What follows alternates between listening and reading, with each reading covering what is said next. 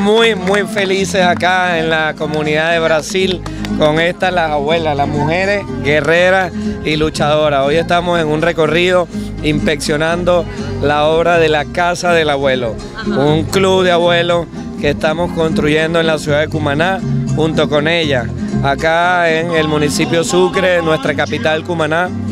Este es un proyecto hermoso que busca dignificar, pues busca generar un espacio de encuentro para todos aquellos abuelos y abuelas adultos mayores que han dado todo por nuestro país, que han dado todo por Venezuela, por Sucre y que ahora tienen un espacio donde podrán reunirse, podrán trabajar, podrán recrearse, podrán divertirse, podrán distraerse y además podrán compartir entre ellos. Estos los abuelos que han dado todo para dejar un semillero en las generaciones futuras que hoy trabajan en nuestro país. Esta es una obra con una inversión importante de más de 100 millones de bolívares soberanos que ha invertido la gobernación del Estado Sucre, gracias también al respaldo que el presidente Maduro nos ha dado para llevar a cabo este tipo de proyectos que vienen a